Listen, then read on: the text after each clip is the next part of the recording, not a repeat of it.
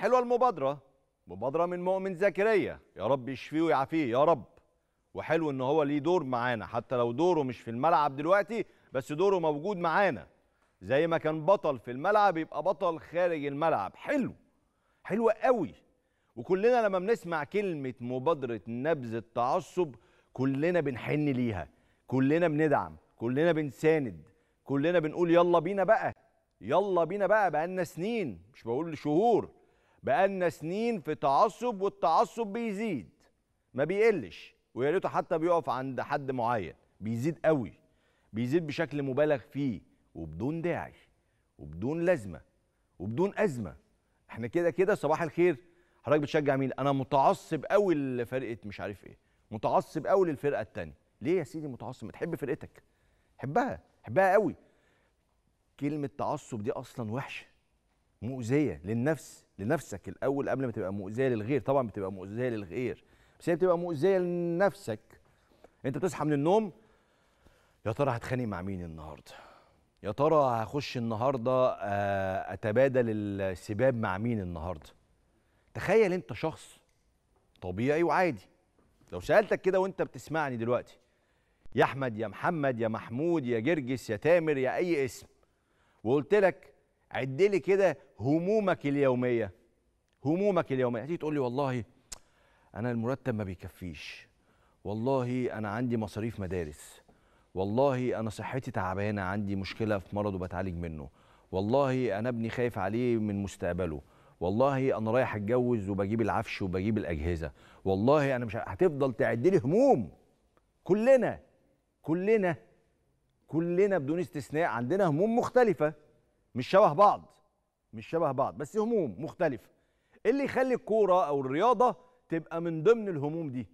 ليه؟ بتاع إيه؟ المنطق والأصل إن الكورة أو اللعبة أو الرياضة هي حاجة للمتعة حاجة للتسلية حاجة لو أنت اللي بتلعبها كمان إنها بتزود لياقتك البدنية وصحتك.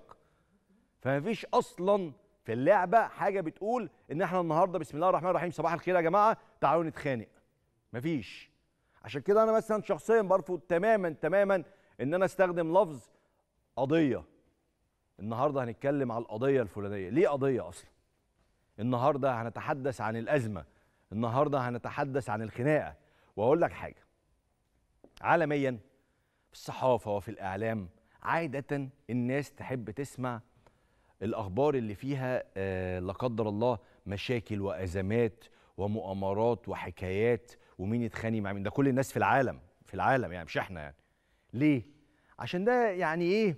بيخليك طول الوقت يا إما آه، تصدق شكوكك من المستقبل عشان أنت أصلا طبيعة الحال طبيعة البني آدم بيبقى عنده شك دايما في المستقبل. فلما أقول لك والله المستقبل أو الحاضر فيه مشاكل فأنت هتقول لي آه صح أنت صح. لما أجي أقول لك والله إنه في مؤامرة أيوه هي المؤامرة دي. لما أجي أقول لك والله مش عارف في مشكلة حصلت امبارح بالنادي أيوه ما أنا بقول لك مش أنا قايل لك من بدري إن في مشكلة وفي خناقة وفي بتاع. طب ما تجيب لنا بقى الناس اللي بتتخانق طب تجيب لنا الأزمة. طب قول لي بقى الأزمة دي واصله لحد فين؟ طب تعالى اطلع النهارده وأنا بتكلم معاك كده هتيجي تقول لي يعني أنت مش عارف مين اللي بيثير التعصب؟ صح. صح؟ سامعك وأنت بتقولها. أنت طبعا بتقول إيه؟ أنت عمال تنظر ليه؟ ما أنت عارف الأصل فين. لأ. الأصل مش شخص ولا مؤسسة ولا مكان واحد. لو بنتكلم على التعصب فهو من زمان. بس زايد حبتين الكام سنة الأخرانيين. كلنا مسؤولين كلنا مسؤولين. يعني سين من الناس اللي هو بيطلع يحلل كورة. هي يقول لك والله يا عم اللعيب ده ما يعرفش حاجة ولا يفهم حاجة ولا أصلا ما كانش المفروض يلعب كورة. تعصب. تلاقي مسؤول ما يقول لك والله العظيم النادي والفلان والاسم والفلان تعصب. تطلع تلاقي لاعب يقول لك والله الحكم عمل فينا والحكم عمل فينا والكلام اللطيف ده تعصب. تلاقي الإعلامي طالع يجيب ثلاثة أربعة بيتخانقوا مع بعض وقال إيه بيصالحهم؟ تعصب. طول ما حضرتك قابل بده طول ما حضرتك عاجبك ده طول ما حضرتك بلغة ال social media بتعلي ال reach بتاع الكلام ده الكلام ده هيفضل موجود.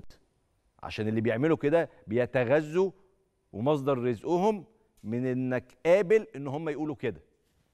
عشان في ناس مش مؤهلة فهو لو ما بقاش فيه خناقة لو ما بقاش فيه أزمة هو مش هيكسب.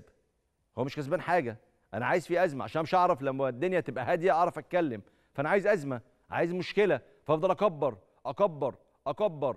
وتلاقي الناس تفضل تتراشق في الألفاظ زي ما أنت عايز قول طب ما حضرتك اللي بتتفرج على ده حضرتك اللي بتخش تعلق على ده بتعلق وانت متنرفز خد بالك. يعني انت كمان بتبقى متنرفز من اللي بيتقال بس بتتفرج عليه. طب ما بلاش تتفرج عليه.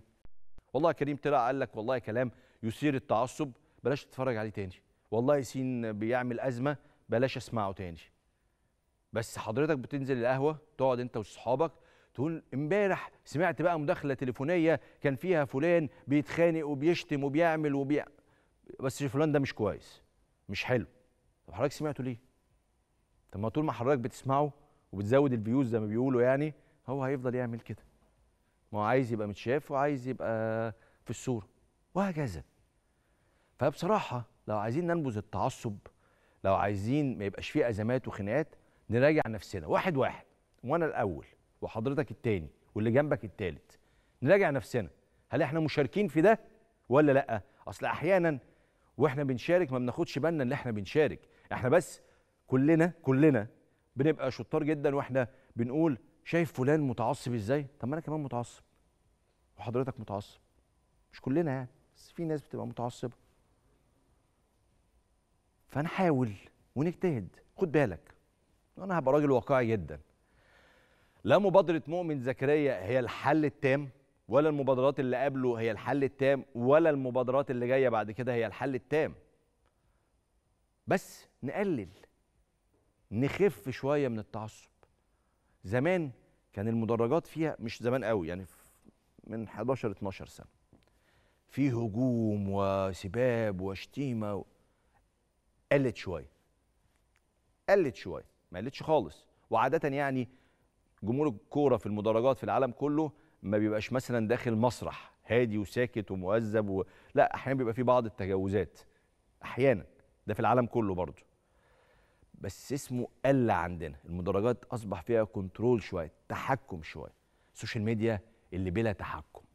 كله بيصحى من النوم تعالى نشتم فلان تعالى نعمل comic على فلان تعالى نهايم فلان تعالى نقطع فيديوهات تعالى نجمع له مش عارف إيه تعالى نعمل له مش عارف إيه. تخيل فيه شخص ما بيصحى من النوم يقول لك بقول لك إيه بقى؟ تعالى نطلع فلان على المسرح. أنا بقول لك أهو بالجمل اللي بتسمعها طول الوقت. طب يا عم أنت بتشغل وقتك. بتشغل نص يومك وأحيانا يومك بالكامل عشان تطلع فلان على المسرح وتقعد والحفلات والحاجات اللي أنت بتسمعها دي. تعب نفسك ليه؟ مضيع وقتك ليه؟ شايل هم تاني غير همومك في الكورة ليه؟ تشيل هم في الكورة ليه أصلا؟ تتعب نفسك وتجهد نفسك ليه؟ فكر فيها ألف مرة. يعني طول ما أنت قاعد في مكان ولقيت اللي حواليك قاعدين بيقولوا كلام هيعصبك قول لهم لا يا جماعة أنا مش هتعصب بسبب الكورة. والله ده أنا عندي واحد اتنين تلاتة أربعة خمسة أنا مش جاي أقعد أضيع وقت هنا عشان أتخانق في الكورة. الكلام ده ينطبق على الحياة الحقيقية والحياة الافتراضية على السوشيال ميديا. ليه تخش في مناقشات من النوع ده؟ فكر بس اقعد فكر كل شوية واحسبها 100 حسبة. أصل أنت عاملة زي الإيه؟ الحاجة اللي هي بتتسرب ليك وانت مش واخد بالك انت هتلاقي مودك بقى وحش. يا خبر أبيض! دول عاملين مؤامرة على النادي بتاعي دول عاملين أزمة للاعب الفلاني ده اللاعب ده أحسن واحد في العالم. طب بتشتموا ليه؟ طب والله لا أنا أعمل فيكم أنتوا ك... تخيل! بدون ما تقصد لقيت نفسك جريت لحاجة المفروض هي بتسليك وبتمتعك وبتريحك من هموم الدنيا فانت انجريت لهموم أكتر من هموم الدنيا الطبيعية بتاعتك اللي هي عندنا كلنا. راجع نفسك بقى. راجع نفسك. عشان لما يبقى في مبادرة نبقى معاها. سهل جدا. بص أروح قايل لك والله تعالى نشارك في الم... تعالى ننزل الشارع ونعمل مش عارف ونعمل حاجات نظرية حلوة جميلة. بس الحسبه عندك. الحكاية أولها وآخرها عندك. اللي بيتعمل في النص ده زي ما بيقولوا كده إيه حشو كويس محمود يعني حشو لطيف مش وحش يعني. أنا احشي شوية فلان يقول كلمتين وده يقول كلمتين و... بس الحل عندك مش عندي. أنا مش عارف أعمل حاجة. لا إعلامي بص بقى لا إعلامي ولا رئيس نادي ولا لاعب ولا مدرب ولا اتحاد كورة ولا أي حد هو اللي هينبذ التعصب. أنت أنت اللي هترفض الوحش وانت اللي هتوافق على الحلو انت المتلقي والمشارك. يعني انت الوحيد اللي عندك الاثنين متلقي ومشارك. كلنا كلنا بنشارك في المنظومة بتاعت الكورة. بس حضرتك متلقي ومشارك. فتتلقى الجيد وتشارك بشكل جيد. لو عملت كده كلنا هنبقى مبسوطين. وعشانك انت والله زي ما قلت لك عشان تبقى يومك حلو. أنا النهارده رايح أتفرج على ماتش الأهلي والمصري الزمالك والإسماعيلي. أنا رايح أتفرج على ماتش ليفربول وبرايتون رايح أتفرج على ماتش أرسنال وتوتنهام رايح أتفرج على ماتش ريال مدريد وفالنسيا رايح أتفرج على ماتش ماتش برشلونة وأشبيلية. رايح أتفرج على كورة رايح أستمتع. النهارده الواد الواد رقص ترقيصة حلوة قوي اداله كوبري حلو قوي ده كان في جول في المقص ده أنتوا لو شفتوه أنا بكلمك بس قعدتك أنت مع الناس. لو شفته جول حلو قوي متعة. الكورة متعة. الرياضة تسلية ومتعة. ليه بقى تخليها أزمة؟ ليه هتخليه تعصب؟ أصل أنا متعصب قوي فريق أنا بحب فريقي قوي ده ومتعصب له واللي هيجي جنب فريقي ده أنا أفديه بعمري. ليه تفديه بعمرك وتفديه بروحك وتفديه بحياتك؟ ليه؟ ليه يا جماعة؟ بن... في أفورة.